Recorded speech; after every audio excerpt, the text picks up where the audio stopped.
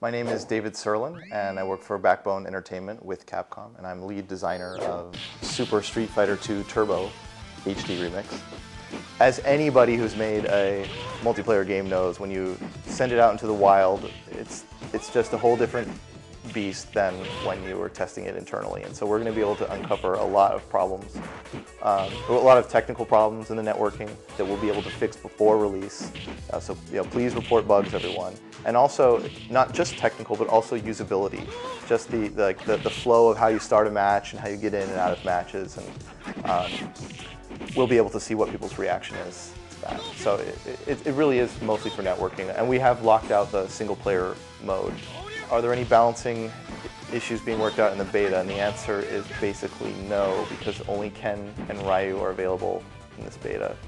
People will get into the beta test of Street Fighter HD Remix by buying the Commando game, and then you get a free pass to the beta, which will last eight weeks.